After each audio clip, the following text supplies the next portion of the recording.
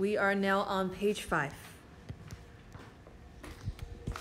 Okay, I assume that you guys are good with the first section of six point one, okay? Um, if you have any questions, you can ask me later. All right, so let's talk about how to resolve vectors. So you have to understand what resolve means, okay? Another vocab. So let's say you have this vector here, v.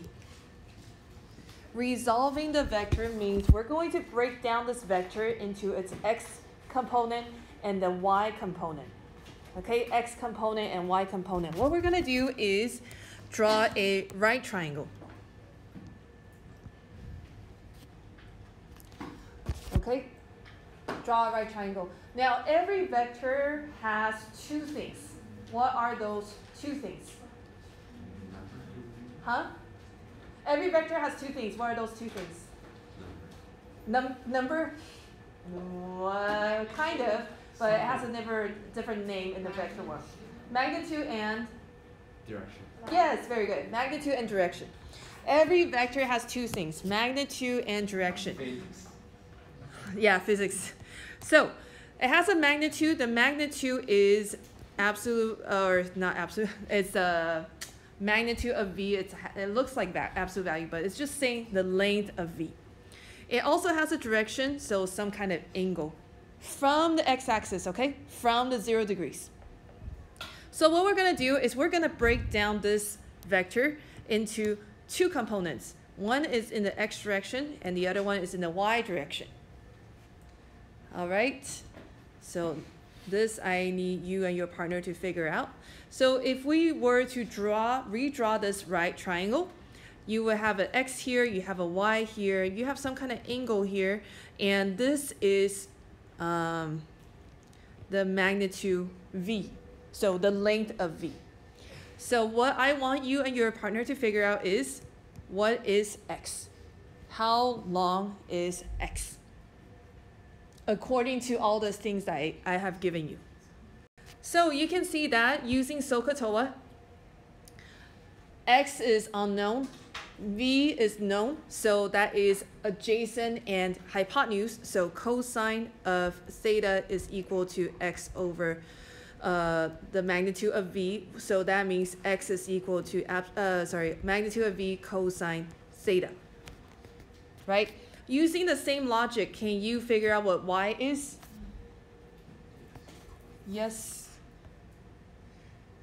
So using the same logic, uh, using the trig ratio, so y is the opposite side, uh, magnitude of v is the hypotenuse, so what kind of um, trig ratio is that?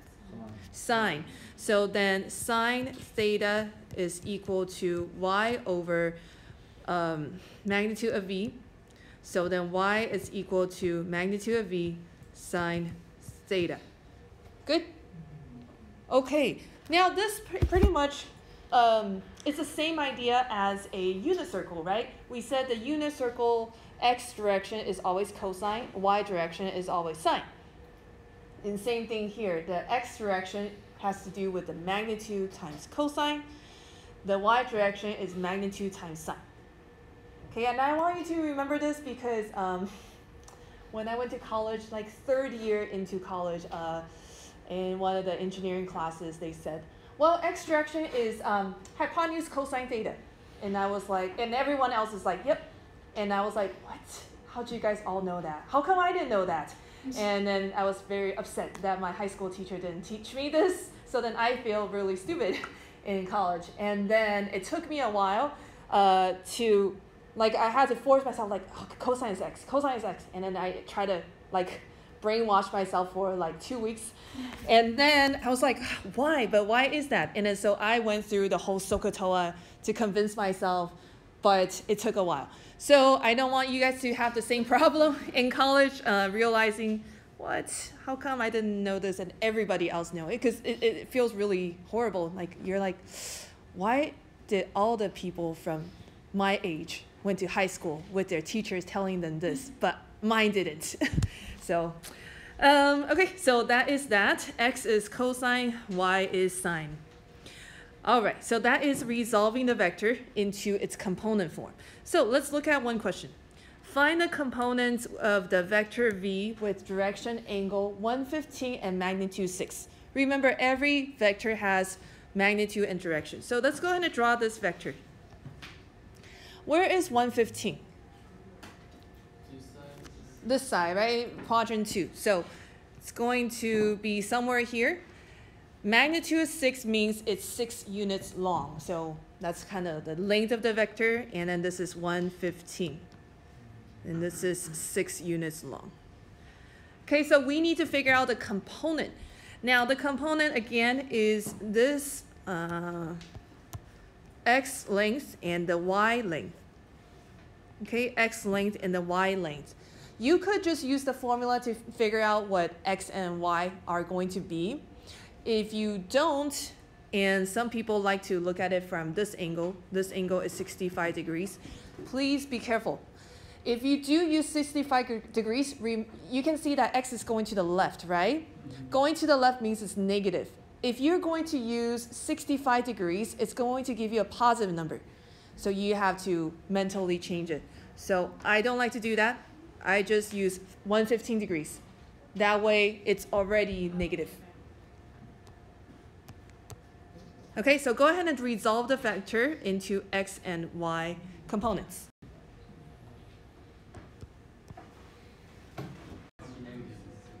Okay, the answer is negative 2.54 comma 5.44.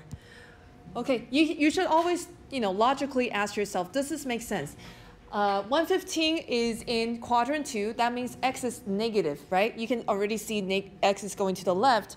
Your answer has to be negative. If it's not negative, you know, you got to ask yourself, why is that? Why is it not negative? Um, so check your angle or check, make sure your calculator is in the right mode. You know, something like that. Okay, go ahead and practice with the next one. All right, the component form. So double check yourself. 120 is here. Magnitude is 2. So the component form is 2 cosine 120. 2 sine 120. Okay, so that turns out to be 1, oh, sorry, negative 1 square root 3. Or negative 1, 1.73. Are you okay, Daniel? Okay, now we're going to go backwards. Okay, I'm going to give you um, a vector. You're going to figure out the magnitude and direction. Okay, this is very easy if you remember what we did two chapters ago. Okay, so first, the u vector. The u vector is 3, 2. So I want you to draw this vector. 3, 2. Look at your notes. Okay, 3, 2. 3, 2 is just the vector 3, 2. Now, this vector has a head at where? The tail ends at 3, 2. Where's the head? 0, 0.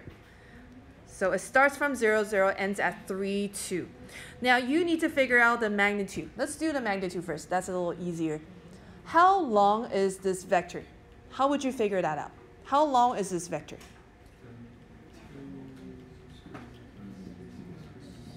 Yeah, so use Pythagorean theorem, right? If you want to figure out how long this line is, use Pythagorean theorem. So go ahead and figure out the magnitude of u. So the length of this vector is square root 13. Now, direction. Direction has to do with the angle. The angle is always from 0 degrees. So this one here. The question is, what is that angle? What can we do to find that angle? Uh, tangent. Tangent is the fastest. So how are you going to use that? So you can see that this is a right triangle. This is 3. This is 2. 3 and 2 makes what trig function for this triangle? So we have adjacent and opposite. So that makes tangent. So tangent of theta is equal to opposite over hypotenuse. So go ahead and figure out what the angle is. Okay, theta is equal to 33.7 degrees. So magnitude and direction. Okay, let's have you guys try another one. This one is a little different. We are not in first quadrant anymore. Your direction angle has to be from zero degrees still. So please be careful on what that angle really is.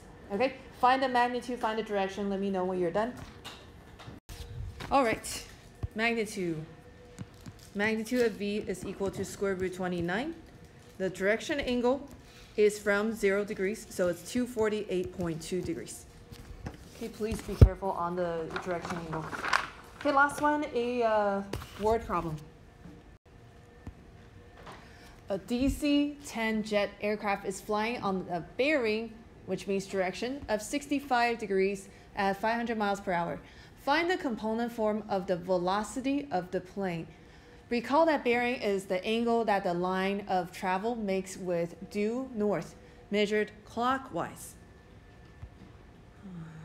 Are you guys always me? Everyone's kind of like smiling at their laptop. Okay, so it's due north, that is this direction, and 65 degrees is this one here. Okay, this velocity vector has a magnitude and direction. The magnitude is 500. You need to find the component form. Yes, speed and velocity are not the same. So that is um, a very important thing in physics and next year in calculus, we're going to talk about that a lot. Speed and velocity are not the same. Speed is the scalar, so it's a number. Velocity has a direction. So I can run this way for five miles per hour and run this way for five miles per hour. Veloc uh, speed is the same, velocity is different because I'm pointing in different direction. Okay, so you need to find the x component and the y component. Okay, let me know when you're done. Please write in um, component form.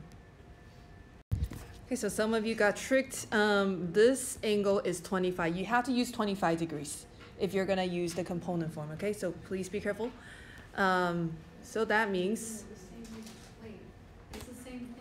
It is the same thing, but you switch x and y.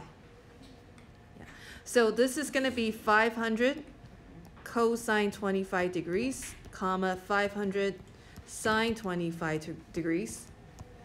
Okay, and then that is 453.15, comma 211.31.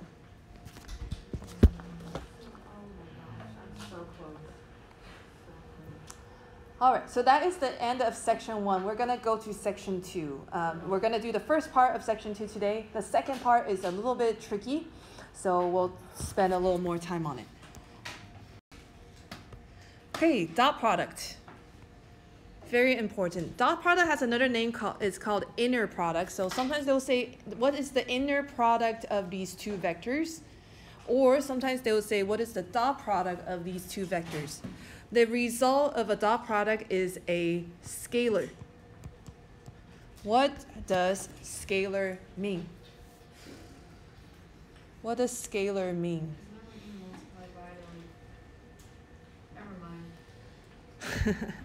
what does scalar mean? We did this in matrix. Oh, wait, yeah. Yes, number.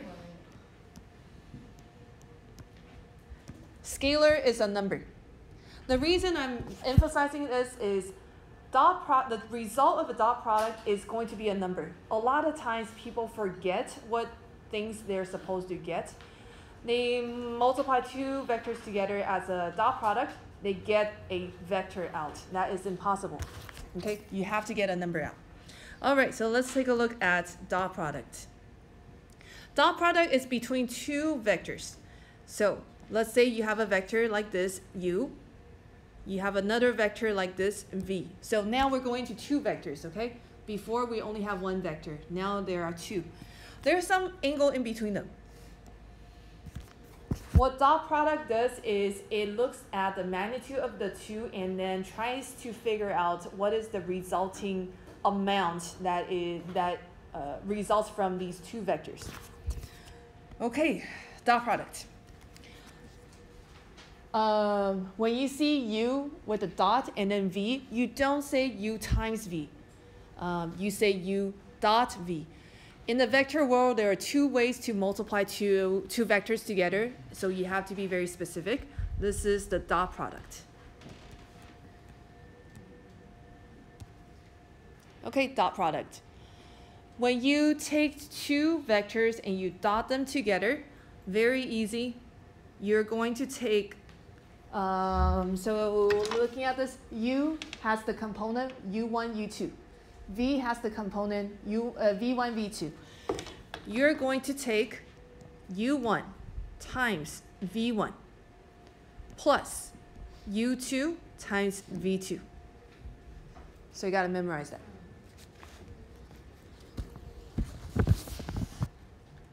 Okay, the dot, uh, it's a scalar, yeah. So you're going to take u1 times v1 plus u2 times v2. And that's going to give you a number, a scalar. The other definition, this is a little bit trickier, is the magnitude of u times the magnitude of v cosine of the angle in between. Magnitude of u times magnitude of v times cosine of the angle in between. Okay, we're to have to memorize these formulas. So let's take a look at this first one. Find the dot product of each one. So find the dot product of this one, A. That should be pretty easy. So first component times first component plus second component times second component. Your answer is a scalar, not a vector. Remember, your answer is a scalar, not a vector. So if you end up with a vector, something is wrong.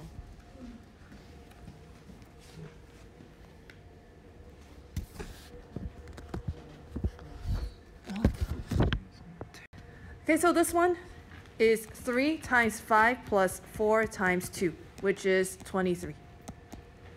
Again, please ask yourself, am I getting a number or am I getting a vector? Uh, that should tell you what it should be. Okay, let's look at the next one. 2i minus j times uh, dot 3i minus 5j. Okay, what is the vector form of 2i minus j?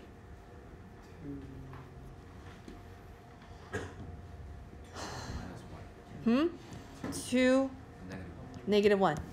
Okay, 2, negative 1 dot 3, negative 5. Um, what is the i vector? What is 1, 0. So this is 2 times 1, 0 minus 1 times 0, 1. Right, so then this becomes 2, 0 minus 0, 1. So that is 2 minus 1. Okay, you don't have to go through that whole thing. It's basically very intuitive that 2i is just going to be 2. Minus j is just going to be minus 1. The answer is 11. All right, next. Let's reverse that. We are going to figure out the angle in between these two vectors. So let's go ahead and draw that. u is 2, 3. It doesn't have to be precise. We just want to see where u is. This is 2, 3. And then v is negative 2, 5. The question is, what is this angle? that looks crazy. How do you find that angle? Find each one and add together. Oh, yeah. You can find this one, find this one, and then subtract everything from 180 right? That'd be crazy. That's a lot of work. Therefore, we're going to use dot product. What does dot product do? Well, it says u dot v is equal to, this is the second definition that we didn't use yet.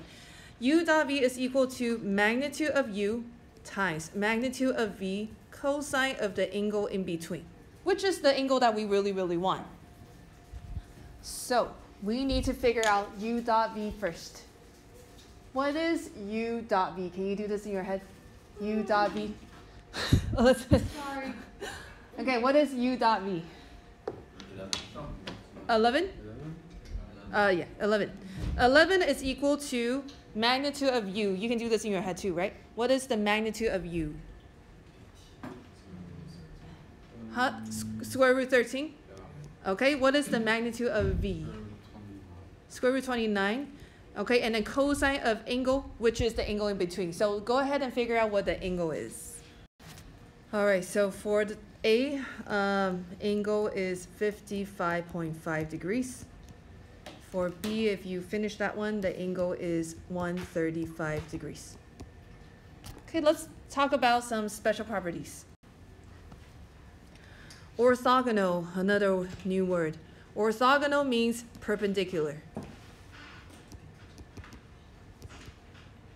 Perpendicular. What does it mean to be perpendicular? 90 degrees. 90 degrees. Okay, let's say that we have two angles that's 90 degrees. What is the angle in between them? 90 degrees. Okay, so let's think about a dot product. U dot V. U dot V. What is the formula for U dot V? Everybody. Uh, Magnitude of U times the magnitude of sine, cosine, angle in between. All right, so let's think about this a little bit. Mm, we said if two angles are perpendicular, then the angle in between them has to be 90. Okay, so let's say that they are perpendicular. So this is going to be cosine 90 degrees. Oh, hold on. What is cosine 90 degrees? Zero. Zero. Therefore, if two vectors are perpendicular, their dot product has to be zero. Okay, so if you get a zero for dot product, then the vectors must be. Perpendicular. Okay, so this is how you check to see if two vectors are perpendicular or not. Okay, so how, uh, when the two vectors are orthogonal, what does orthogonal mean?